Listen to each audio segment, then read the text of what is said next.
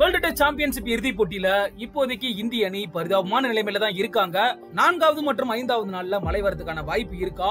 மழை வந்தா யாருக்கு சாதகம் அப்படின்றத பத்திலாம் டீட்டெயில்டா பார்க்கலாம்.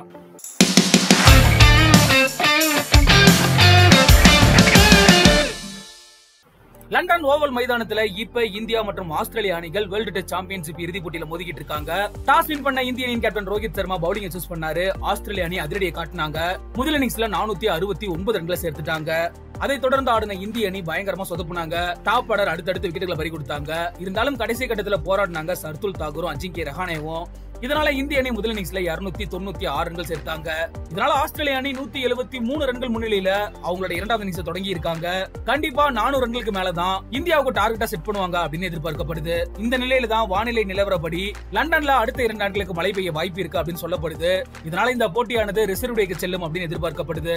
ஒருவேளை மழையின் காரணமா ஆட்டம் நடைபெறாம தடைபட்டது அப்படின்னா ரிசர்வ் டே வரைக்கும் போய் இந்திய அணி போராடலாம். இந்த மேட்சுமே சமன்ல முடிஞ்சது அப்படின்னா இந்தியா மற்றும் ஆஸ்திரேலிய அணிகள் ரெண்டு பேரும் பேருக்குமே சாம்பியன் படத்தை பகிர்ந்து கொடுத்துருவாங்க. இருந்தாலும் கூட மழை உறுதியா பெய்யுமா? மழையோட சதவீதம் என்ன அப்படின்றது தெரிய வரல. இந்த வானிலை நிலவரமானது இந்தியாவுக்கு எதிராக அமையதான் வாய்ப்புகள் அதிகமா இருக்கு வெயில் அடிக்கிற காரணத்தினால ஆடுகளத்தின் தன்மை பேட்டிங் கொஞ்சம் சாதகமாவே இருக்கு. இதுவே மழை பெய்தாலோ இல்ல மேகமூட்டத்துடன் காணப்பட்டாலோ பேட்டிங் செய்யறதுக்கு கொஞ்சம் கடினமா தான் இருக்கும். சோ ஆஸ்திரேலியா பவுல் பண்றாங்க அப்படின்னா அவங்களுக்கு பந்து வீச்சுக்கு சாதகமா இருக்கும். இந்தியாவுக்கு மிகப்பெரிய சவாலா மாறிடும். மழை பெஞ்சதுன்னா ஒரே ஒரு நல்ல விஷயம் சுழற்பந்து வீச்சுக்கு பிச்சு சாதகமா இருக்காது.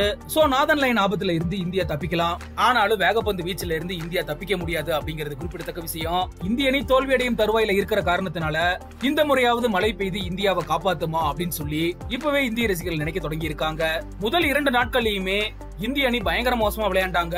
ஆனாலும் டே த்ரீல சூப்பராவே கம்பேக் கொடுத்திருக்காங்க. ஓரளவுக்கு டே த்ரீல இந்தியா நல்லாவே பெர்ஃபார்ம் பண்ணிருக்காங்க அடுத்த இரண்டு நாட்களையும் இந்திய அணி வேற லெவல்ல பெர்ஃபார்ம் பண்ணாங்க அப்படின்னா இந்த மேட்ச்ல இந்தியா வின் பண்றதுக்கான வாய்ப்புகளே இருக்கு. என்ன நடக்க போகுது அப்படிங்கறத நம்மளும் பொறுத்திருந்து பார்ப்போம்.